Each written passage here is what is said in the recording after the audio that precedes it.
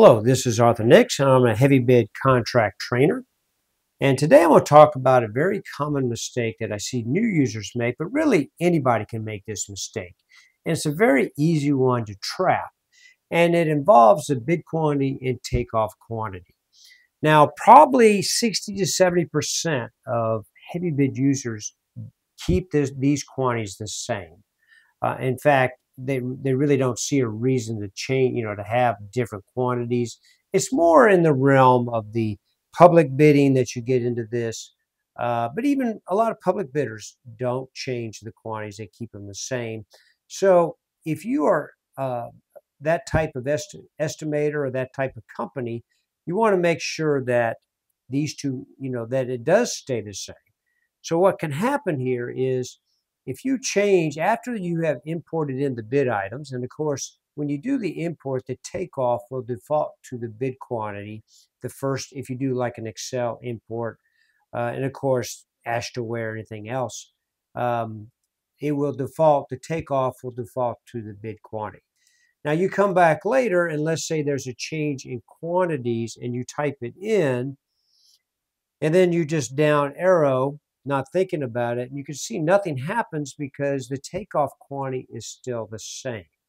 Now, the good thing is if the takeoff quantity changes, there will be a message because it will ask you if you want to factor. That means change, take, you know, the, the old quantity, divide into the new quantity, and then you have a factor times the all of the uh, activity and resource quantity. So uh, and you could say yes, and it will do that. So there is some kind of a heads up when you change this, but not this. All right.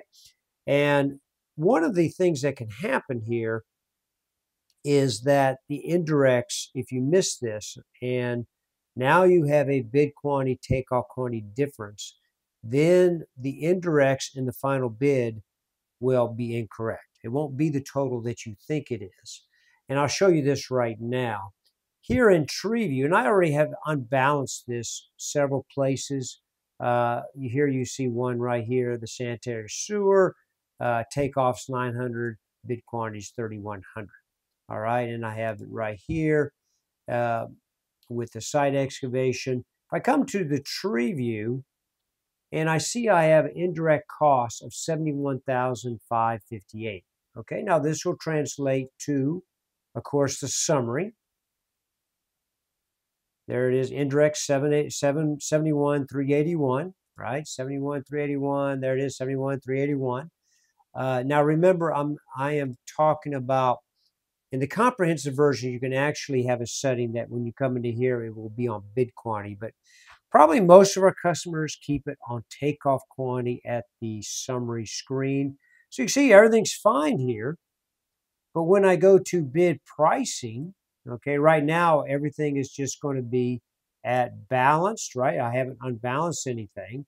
And I go to my indirect right here, my indirect column. You can see I have 62,285. So it is a different number because of the factory.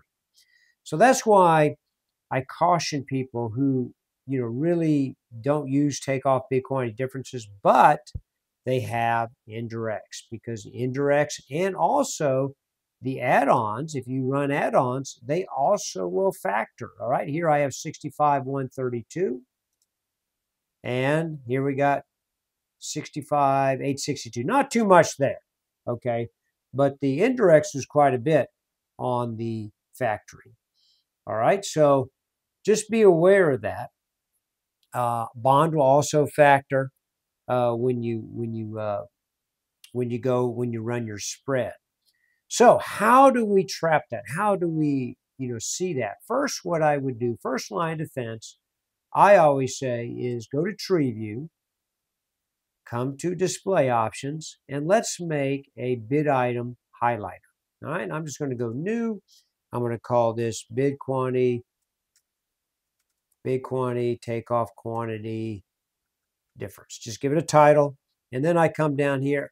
Most of the time, you could do underruns and overruns. Nothing wrong with that. You could have two of them right here, two of these. I'm just going to make it both. And I'm going to highlight it with a nice green color, and then I'm also going to bold it to really make it stick out. So here we are. I'm in the highlighter. You notice this is user specific. So everybody can do their own thing. And it's under the bid item tab, new. And then all I got to remember is click this both right here. Right? Even gives me a preview right here. All right, what it's going to look like. I put OK, and I can see right away, I can say, oh, look, I got bid item, bid quantity, takeoff quantity differences.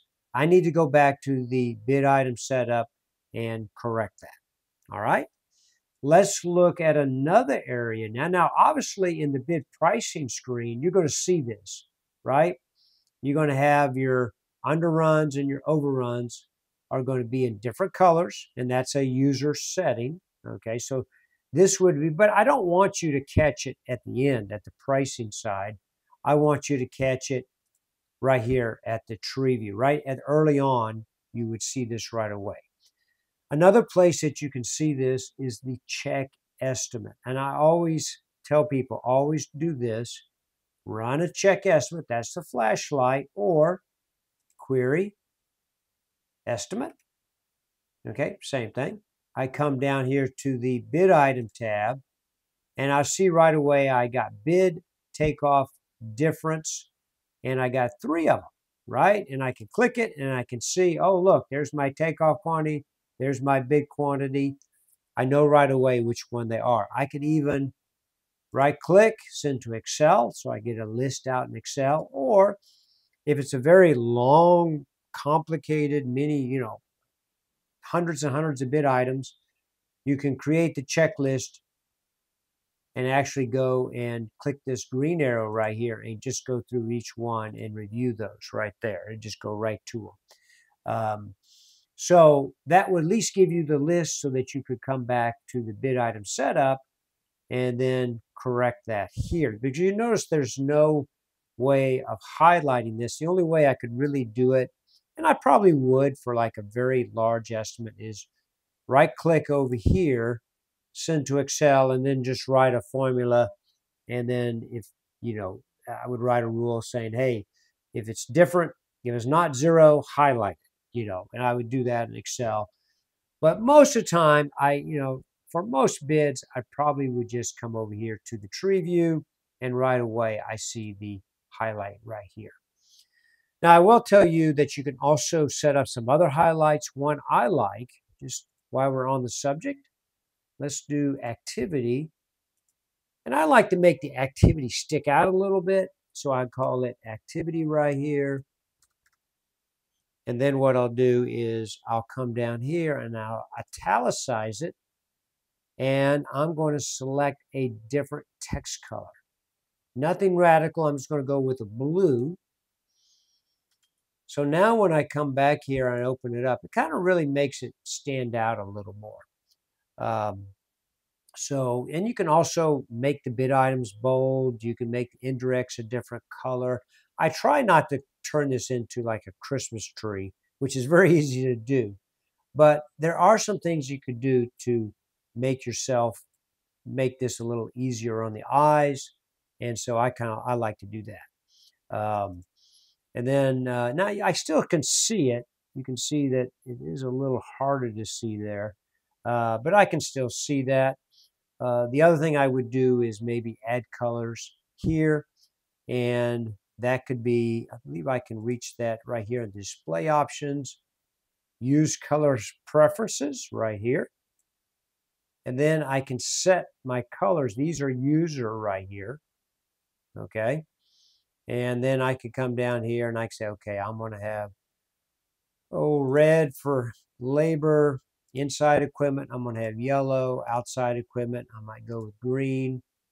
Construction material, uh, let's go aqua. Subcontractor, let's go green. And then I'm probably skip these three and just go with permanent material. And let's go with the blue. All right, so all it does is when I come back out, I get out of tree view and I come back in and I go back into an activity, it just gives me a little splash of color right here. Nice to kind of break it up, especially if you have a lot of items, you know, where you just, you know, really you're going to scroll down. It's just so many, so much material or equipment or labor, and it just breaks it, you know, kind of breaks it up a little bit for you.